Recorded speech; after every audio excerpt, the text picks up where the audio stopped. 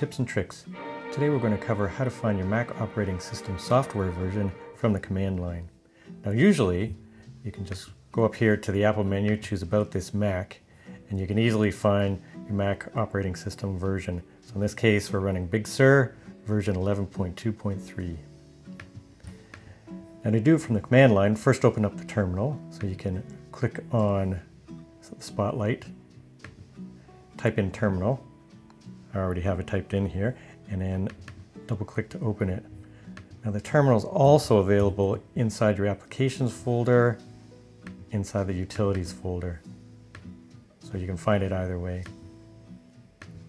Once you have the terminal open, the fastest way to find the software version is to just type in sw underscore VERS. And here it shows us that we're running Mac OS 11.2.3 and then the build number. Now this will be handy if you want to log into another computer remotely and find the software version, or maybe you've had to boot into single user mode and find the software version. Uh, it should work either way. Now if you want a little bit more information, what we can do is we'll clear the screen here. Then all you need to do is type in system underscore profiler Make sure you type it in exactly like this. Space, capital S, capital P, and then capital S software, altogether no spaces, capital D, data type, capital T for type, and then hit enter. And then we'll get some more information.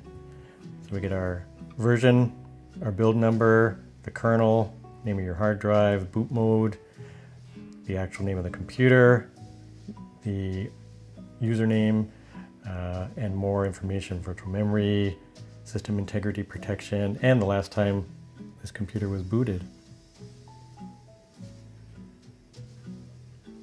Now finally, I'll just clear this. There's another way. It doesn't give you as much information, but if you're having trouble with the previous two commands, you can actually read a file inside the computer and it'll give you the version number. So it's not as much information, but if you're having trouble with the previous two commands, this should work.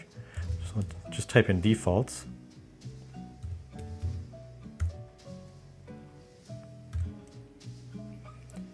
And then space read, and then space login window, and then space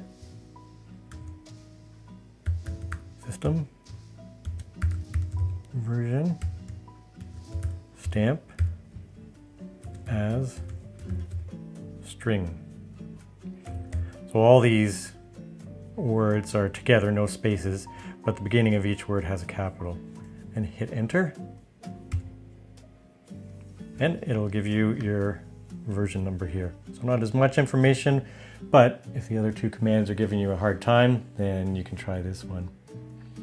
Well, I hope this video was helpful, and if it was, please give me a thumbs up, or you can even click on the thanks button down below. And put in the comments if you have any trouble with this command, or you had any success too, if it's helped you out as well. And also share this with friends if you know anybody who needs to find their system software version number over the command line. Thanks again for watching, and we'll see you in the next video.